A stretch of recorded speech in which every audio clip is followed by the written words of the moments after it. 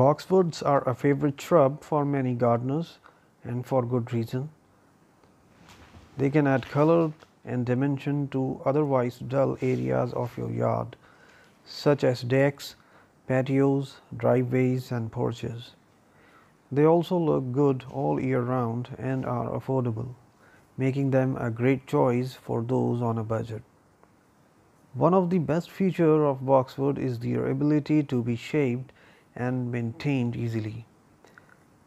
They are known for their shaping ability and can be trimmed to the desired size without the leaves becoming sparse or exposing wood.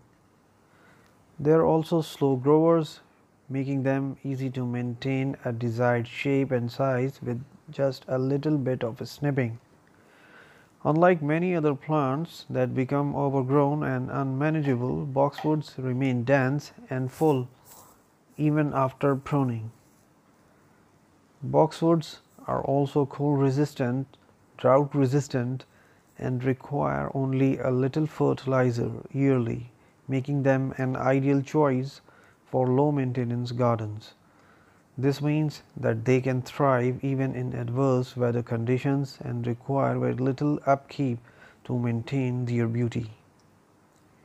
In addition to their practical benefits, boxwood can also add aesthetic value to your garden.